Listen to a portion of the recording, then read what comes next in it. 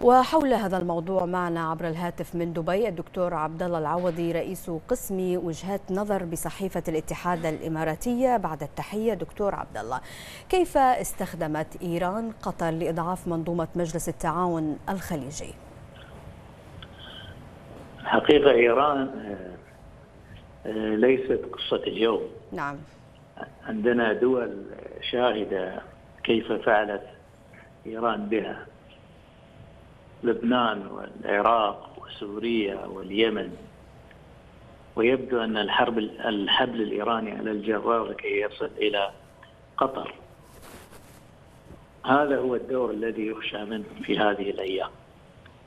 قطر اليوم تهرول إلى الأمام بدل أن تقف عند المشكلة الحقيقية التي تكلم عنها دول المقاطعة بكل صراحة الأربعة. نعم.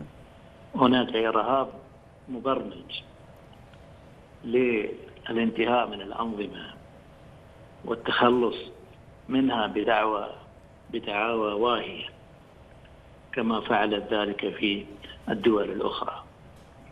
وما يحصل اليوم في ليبيا وفي كثير من الدول شواهد كثيرة على ذلك.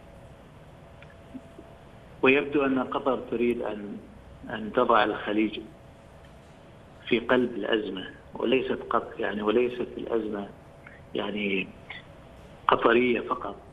هذا الذي تسعى دول المقاطعة أن لا يحدث نعم. أبدا. وهو هذا هو جوهر الصراع أو جوهر الخلاف. نعم دكتور لقد يعني كما ذكر وزير الدولة الإماراتية للشؤون الخارجية أنور قرقاش أن أن أن قطر قامت ب يعني ب صرف الكثير من المليارات ربما تجاوزت 300 مليار دولار لدعم الجماعات الإرهابية لإضعاف مصر لاستغلال الأمن وإضعاف الأمن في السعودية في في البحرين.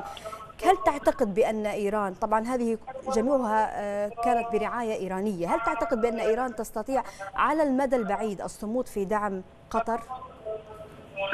إيران لها مصلحة معينة سواء كانت عن طريق قطر أو عن طريق أي دولة أخرى وقطر اليوم يبدو أنها تضع أمام يد إيران طبق من ذهب ايران تريد نفوذا في هذه المنطقة نعم. وليست من الآن منذ تاريخ تصدير الثورة إلى هذه المنطقة ومناطق الأخرى في العالم حتى في أمريكا اللاتينية.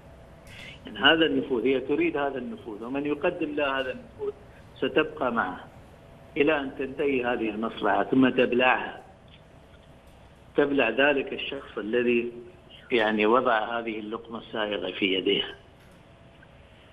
نعم. من دبي الدكتور عبد الله العوضي رئيس قسم وجهات نظر بصحيفة الاتحاد الإماراتية شكرا جزيلا لك.